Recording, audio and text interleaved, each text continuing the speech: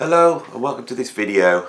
Um, I've just woken up to the shocking news that um, the drummer Taylor Hawkins has been found dead at the age of 50 in his hotel. He was currently on tour with the Foo Fighters. Um, it's created an absolute shock across the internet. Um, obviously, um, on social media, I'm uh, linked in with hundreds and hundreds of drummers across the world, and uh, within the drum community, it's a real shock, you know. And I'm sure in the wider music community, it's going to be an equal shock.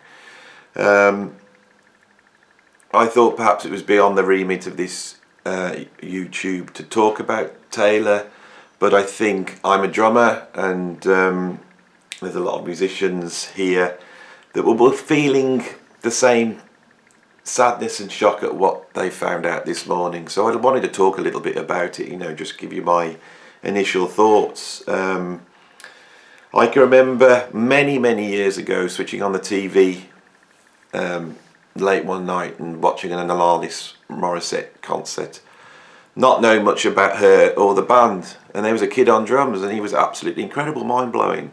And what I remember is it seemed to be somewhere between, you know, sort of John Bonham and uh, Stewart Copeland. And I'm a huge Stewart Copeland fan. And I thought this drummer had a really interesting approach to playing rock. Um, we've talked so much about jazz rock on this channel you know, and sometimes we need to talk about the rock. Sometimes we need to uh, be aware that, you know, you're the Vinnie Colaiutas and the Billy Cobhams of the world are incredible drummers, but they're drummers that um, have a name for being drummers. Their style is so signature and they play in such an extravagant way. A lot of the music they play is is to put the um, focus on them to a certain point. This is not to say they, they can play any other way, because of course we know drummers of that ability surely can. Um, but there's another breed of drummers who are equally virtuoso, and I think Taylor Hawkins is one of those. So I, I, I don't have him in my mind as, as a drummer like a Dave Weckl or a Terry Bozzio. I see him as, as a great rock drummer. Um, and I want to talk a little bit about that. Uh, with reference to the Foo Fighters, um, even I have a Foo Fighters album in my collection. Um, this band has really um, flown the flag for the last how many years for rock music, for for um, real music, for people in a room playing, um, and that requires a, a great skill and Taylor Hawkins, I think, was a master of that style of playing. As is Dave Grohl. Dave Grohl's an absolutely incredible drummer. Now, some of you might be thinking, yes, Andy, yeah, they, they're good drummers, but they, they, they're not like they're not like jazz or fusion drummers, are they? They, they can't do all that stuff. Well, when Dave Grohl formed the Foo Fighters, obviously he played drums for them. And when um, it was time to get a drummer in, they brought a number of drummers in to try and do that gig, you know, play on the album. Now, Dave Grohl seems a lovely guy, but he has very high standards, and those drummers couldn't cut it. What couldn't they cut? And it's literally what they couldn't cut was the record. Um, when you get into a recording studio and you play old school, you know, where you're playing linear recording where you're playing in one line and you're trying to get a take all right?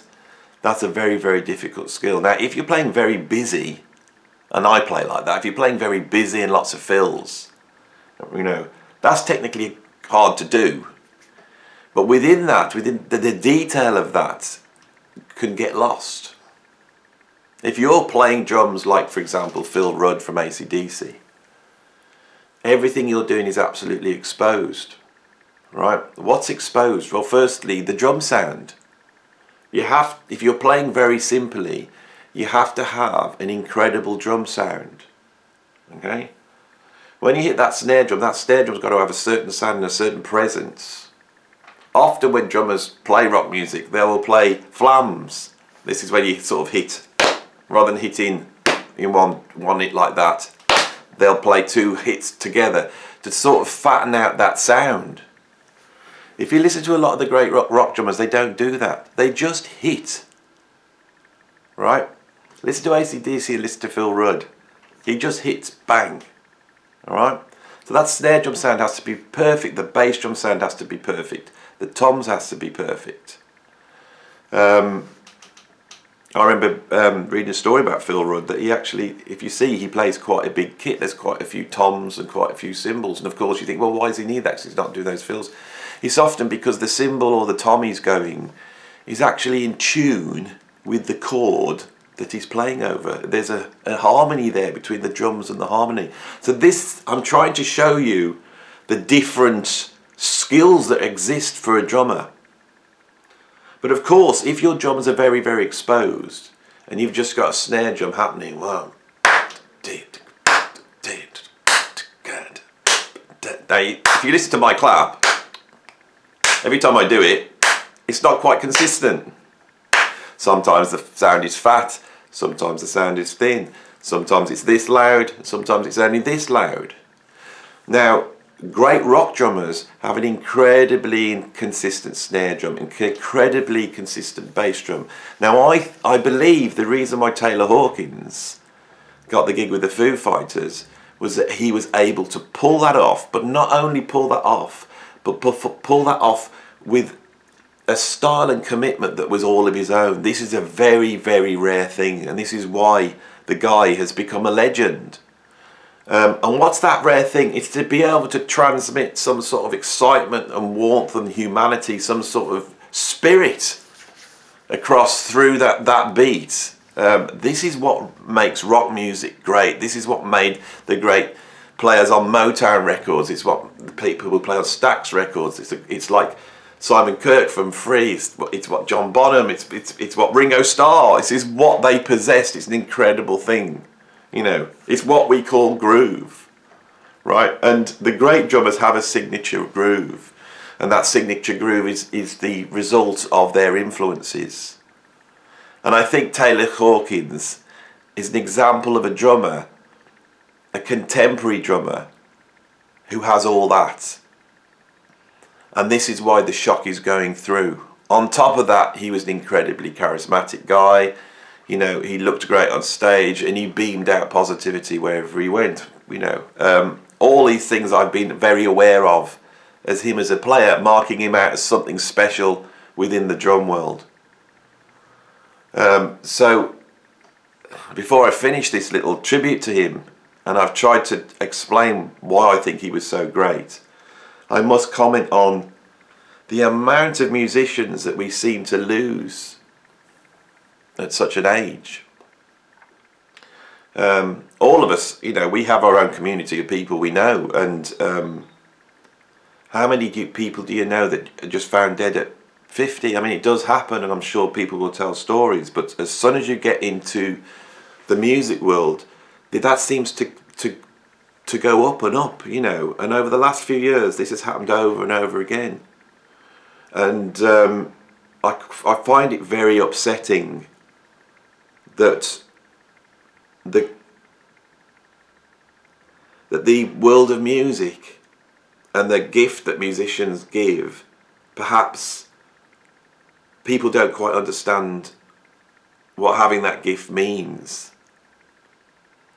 That um, the, the place where that comes from is actually a that musicians that are great at transmitting that feeling are drawing upon a well of emotion, both positive and negative, which is very, very powerful. And I think for many people that's hard to control. We don't know what's happened to Taylor. I know I've, I've, I've, I've decided I'm going to do something straight away and just talk. It's, it's, it's pretty early in the morning here. You can tell by the, the lighting of this video is slightly different because the sun's in a different place, you know. So, so, but that's the real shock for me is again waking up to the here some person that is too young dying and why and what that what happens to these people you know i mean it's some of our greatest musicians michael jackson and prince chris cornell you know all these players in the last few years that you've had to wake up to this news. Uh, and surely, what can we learn from this? Surely there's something we can learn, and it's maybe that we just need to look after music, look after the arts, look after arts. It's a little bit better because without them, there really isn't any point in living. Anyway, um, a little lone robin has just perched outside the window and had a look at me. I wish I could have got him on film. There's always these things going on in the background, just reminding you of your place in this weird situation we've all woken up in. Anyway, rest in peace, Taylor Hawkins. Incredible musician, incredible force in music, incredible drummer, and let's just hope this doesn't happen again too much because it's it's it's a hard one to deal with. Anyway, thank you very much.